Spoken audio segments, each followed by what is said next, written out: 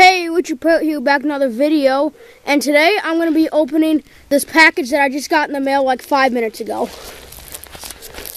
So, I know what this is, at least I'm almost positive it's what I think it is, but it's for a set I've been working on of 2015 Score Football Patch Cards. And this is what I think it is. Yeah, the Jacksonville Jaguars triple patch code that will go in that set just nice. So, if you want to see more package openings like this, like, subscribe, and comment. Bye.